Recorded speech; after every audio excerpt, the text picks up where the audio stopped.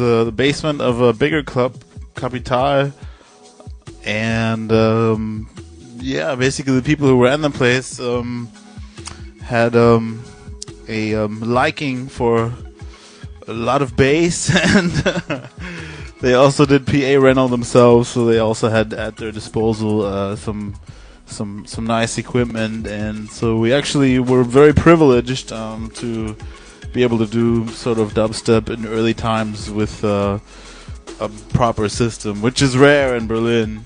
I, I have to add, uh, most clubs in Berlin sound is very shitty.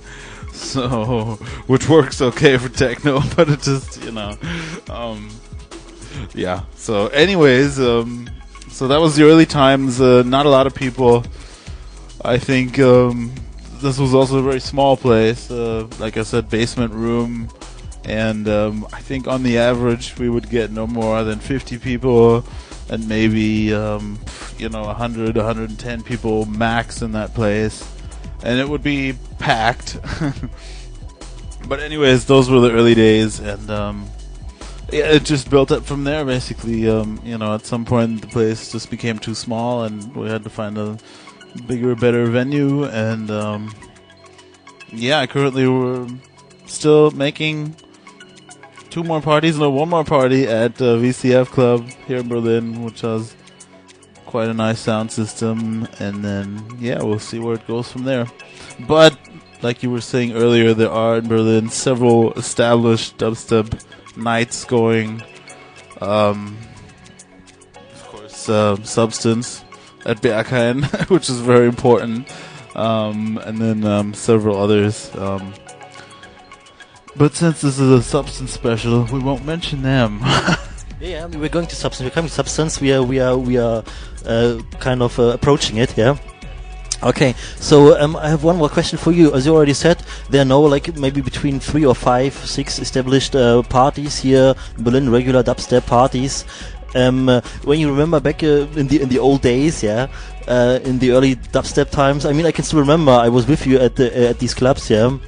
Um, can you tell us a bit about how did it develop that even more promoters, more people wanted to make all of a sudden dubstep parties? How, how did it come? Were there any rivals or something or any competition? No? Well, you know, I think um, again that's a, just a question of how the sound progressed internationally.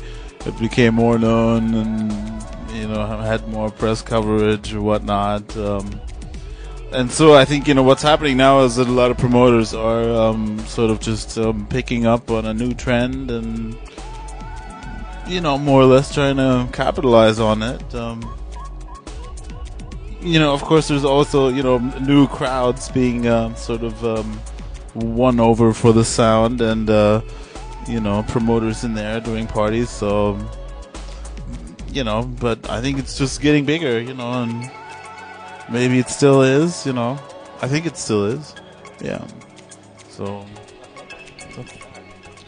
Okay, so now let's uh, come a bit uh, to the to the Berghain substance thingy. Um, um, the, uh, Paul, can you maybe uh, uh, tell us a bit about how? I mean, we, we already had a show with Marcel Dettmann and Marcel Fengler like one year ago, and they already uh, said, or they even played like some dubstep tunes on our show. And they said that they played during the warm ups or after that. Uh, at, at Berghain Club, so there was kind of a certain appeal at Berghain for the sound. I don't know. Um, how did it come that like such a well-established techno and house club like the Berghain, yeah, suddenly opened their doors for a completely, uh, not sure completely, but for kind of different sound, for different groove, for different different rhythm.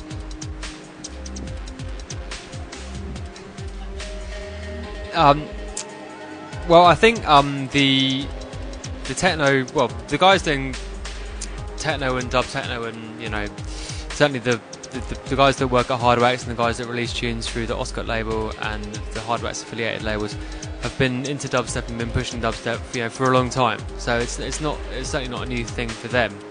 Um, and when I moved to Berlin, which is about 18 months ago, um, you know, one one of the obvious things for me. Um, in terms of kind of like doing some, you know, wanting to do something in the city was to do a, do, do a big party, you know, because there'd been kind of smaller nights like Freakcamp and the other parties, um, but there hadn't really been uh, like a, a, big party at one of the big clubs. I mean, there'd been kind of like the old one-off thing, but that had usually been. Uh, you know, a couple of dubstep DJs and other, you know, DJs as well to kind of pull the crowds in. Um, so, I mean, and the obvious place in Berlin to do a big party is obviously Berghain because that's the best club and it's got the best sound system and it's you know it's the best atmosphere and it's it's, it's the kind of iconic thing in the city. So, um, basically, after m- myself and the, um, my kind of co uh, promoter. Um, Paul, who runs the Surefire agency, we're both called Paul. It's very confusing, by the way. Um, the two Pauls, we're kind of. I'm Paul one. That's that's, that's usually the. Uh yeah, that's what most people say. Oh, Big Paul. That's, that's the other one. uh, yeah, no, no, he's older than me actually. Yeah. yeah. Um, so the, two of us, when when we, you know, kind of like locked everything down and you know decided, okay, we're, we're, this is actually going to happen somewhere. Um, we, you know, we we hooked up a meeting, and I think um, obviously the guy, the guys that, that, that run the club um, are, are very tight with the Hardwax people. So, for example, um, uh, who runs the distribution thing down there, um, uh, I'm I'm sure, and, and DJ Pete, and, and obviously Marcel works there as well. So there's, I'm, I'm sure there'd been, you know, uh, conversations have been ongoing, you know. So by the time we got in there for our meeting, and you know, to say, can we do a dubstep party at Berghain, you know, I'm, I'm sure they'd taken the decision already because um, we went in there expecting, you know, at the most to get, you know, a, a Sunday night maybe or a Thursday night or whatever, and the first thing they said to us was, well, do you want to do a Friday? And obviously the Berghain room had never been open on a Friday before, so we, you know, we were, you know, we were pleasantly surprised, shall we say, by the, you know, the turn of events. Um, and so obviously, you know, to get such an amazing opportunity was, was, was fantastic, and, and the way that it turned out was great as well. You know, the first one was an amazing night, and, and the second two have yeah, it is two, yeah. So the second two were great as well, um, and the fourth one is on a third of April. And I hope to see you all down then. Yeah, thank you very much for the very precise explanation. Um, now we have uh, some a couple of questions from uh, people listening to the show, and uh, um, they are asking questions. For example, like um, dubstep sound like um, a whole big genre, but they're all apparently already a couple of subgenres. How do, can you tell us about this? Well, you know, like I said, you know, the thing I always liked about it is that it sort of encompasses a very wide range of sounds. Um, so, you know, subgenres. I, you know, I, I think uh, any of the, you know, supposed subgenres that you could name, um, they're really sort of they or they're wanting to be more genres of themselves, and you know, for me, it's just a good collective term to sort of describe, you know, the sounds that I, you know, that can be expected of me uh, in a club or whatnot, and so, you know, it's it's dubstep. It's all dubstep. You know, I mean, you know, funny funny ways to describe, you know, new new sounds, uh, you know, always coming up, but um, no. I reject uh, any sort of uh, legitimate claim to dubstep subgenres. How about you, Paul?